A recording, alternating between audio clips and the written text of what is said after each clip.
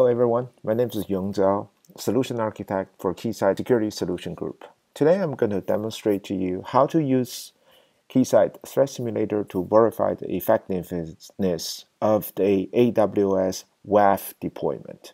So let's get started. Okay, what I'm going to go is I'm going to switch to AWS CloudFormation to deploy my agent, also automatically set up the AWS uh, Web Application Firewall.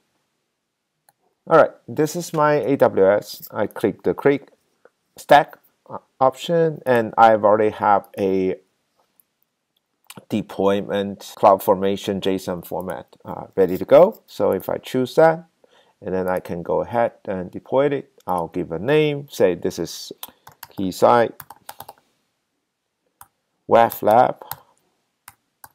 And then I have a lot of information uh, pre-built in, so I'm going to stick with that.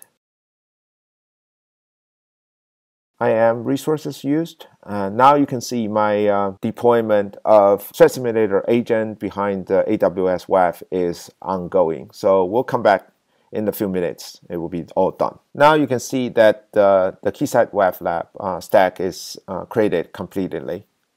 Now let's go to the EC2 and take a look at what has been uh, created.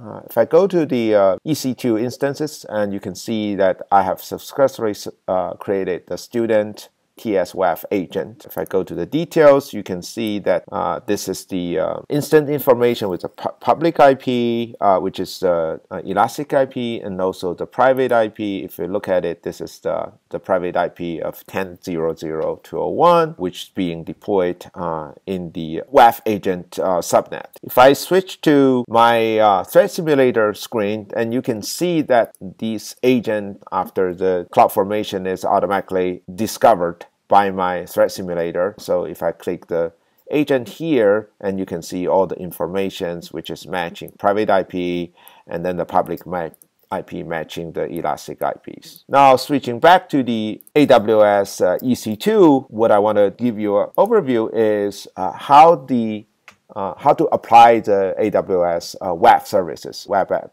uh, application firewall service, especially the web app uh, ACL rules. The first thing you need to provision through my uh, cloud formation is the load balancer. So on the AWS, you need to create this TSALB, which is application load balancer. And then in the load balancer, you need to configure its uh, the listeners. Uh, in this case, I'm listening to 443, which is HTTPS. And then I'm uploading or using one of the self-signed certificate for because it's a web function, it will do the SSL uh, inspection of the content. So it need a, a certificate uh, to do this sort of man-in-the-middle proxy mode. And also it has a rule uh, which is point to the uh, target group, which take a, let's take a look. So the target group is called TS agent. Again, for every target group, uh, you will see we have a target. This is a target 10.00201. If you remember, this is my uh, WAF TS agent uh, IP address uh, IPs.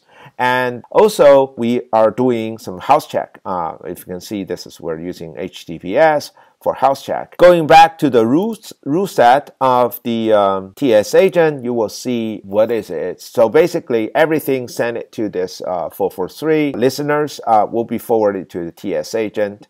If you have a WAF uh, deployment, which is have protecting multiple web page, website, uh, so you can create a much more complicated or complex uh, rule set to manage that, uh, what we call the multi-site setup. So you can do that as well.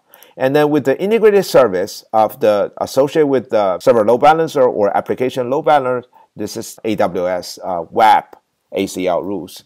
As you can see, this is the uh, newer version of uh, what AWS called the WAF version 2 and you can see right now I have the rule set of AWS uh, managed rule set, uh, SQL injection, common rule set, and another AWS managed rule set of what called the common rule set. Total, you can see there's a 900 different rules in those rule set. Now switching back to the AWS load balancer, one key information we need to have is uh, DNS name of this ALB or server load balancer. So let me copy this and get back to the uh, our threat simulator. Let's put the agent uh, behind the server load balancer. And this is an important step to do because all the our later on assessment is evaluate or uh, assess the effectiveness of the AWS WAF rule. So we have to put the agent uh, behind the server load balancer.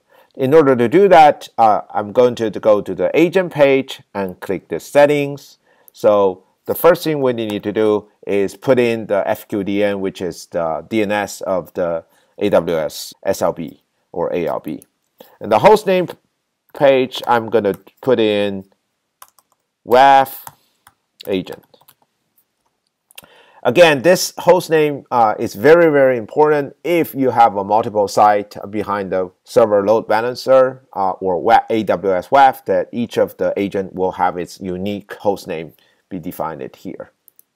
And then we switch the protocol to HTTPS and then put the uh, 443 at the port and uh, check the enable and save the configuration. So now you can see the load balancer is enabled. If we go back to the topology and we do a quick uh, service scan through the agent, just trying to make sure that uh, we have the proper service ports open for this agent so that we can uh, jump into the next step, which is create a assessment uh, for the WAF rules. All right, let's take a look. If I go to service, now it's good. So we, for the incoming ports or incoming service port towards my agent behind the AWF, I have uh, 443 and port 80 open. But as you know that even though we have both uh, HV and HV ports open, but we know on the AWS server load balancer, we only uh, listening to port 443. All right, let's set up AWS uh, WAF assessment scenario. Setting up uh, that on the Threat Simulator is quite straightforward uh, if you select the instrumentations. We're not going to do a full suite of web application security assessment, which is over 200 security audit. So what we're going to select is a demo set of it, uh, which is have 11 audit, and then we're going to assign it, run this uh, assessment against the TS WAF agent behind the AWS WAF services, and then I'll give it a name for this security audit run as demo WAF web apps, and then we'll add it to the scenario. Before we run this assessment, I've remember one thing. Originally, when we do the cloud formation, we um, configure the uh, AWS WAF, uh, Web ACL to including the uh, SQL injection and common rule set, uh, those two AWS managed rule set. I think it's, it's better to start with no rule set uh, to run the assessment, then we'll apply, reapply to those rule set and, and see the difference. That's probably a, a better way to to look at the effectiveness, how the AWS WAF rules uh, apply to those uh, security assessment. So let's first get to the um, uh, AWS CLI uh, terminal windows and change our AWS WAF uh, web ACL rule set to empty first. So I have a script written, and this one will basically remove all the AWS managed rule set for common set and SQL injection. Now, if we go back to the um, threat simulator, we'll start assessment uh, against uh, WAF without the set. Certainly, what, what we expect is all the security audit will will pass. Basically, the traffic will pass, and uh, the expected result will be fail. So let's take a look. This normally the security uh, assessment uh, sec scenario run will take a, a couple minutes. So as you can see right now, the audit is running and we'll expect some result uh, pretty soon. So we'll be back. We're back. Now you can see that demo web application security uh, scenario assessment have been done. It's finished. We have total of 11 audits and all of them failed, which is expected because we don't have a security rule set. And in this list, you can see uh, we have a various uh, different uh, techniques uh, being exercised for those security audits, including the cross-site, uh, local file inclusions, SQL injections, and some uh, code ex uh, executions, uh, remote code extensions, parameter code ex executions, and uh, OS command injections. So it's a blended of typical um, OWASP top 10 web application attack uh, techniques. Now, if let's go back and restore the um, rule set to the original setup, which is the SQL injection and common rule set.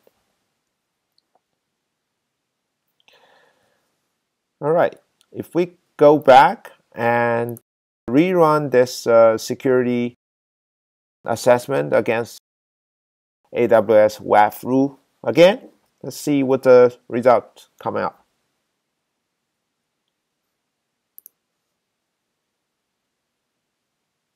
We're back. Now the uh, demo web application security assessment run is finished. Uh, now you can see this time is uh, much better. So we have out of 11 audits, we have uh, six passed, which means the traffic is being blocked uh, or audit being blocked, and then five failed.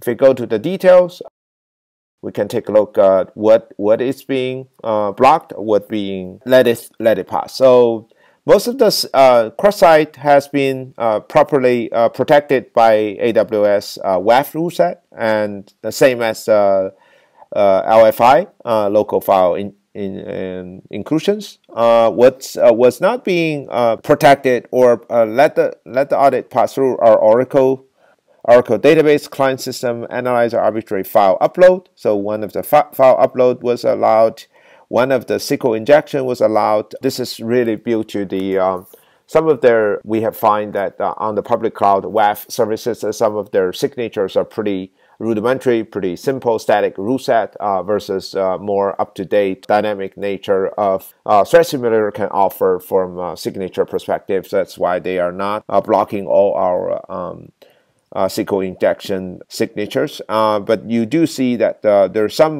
like this number eight this SQL injection was properly blocked by the AWS uh, WAF rule. Certainly, some of the OS command uh, injections and the code executions, those are the rule, uh, those are the audits uh, which is was not properly addressed by the uh, AWS rules. In the coming videos, I'm going to show you how to write your own rules uh, to address those issues. Before we conclude this, uh, let's go back to the uh, AWS.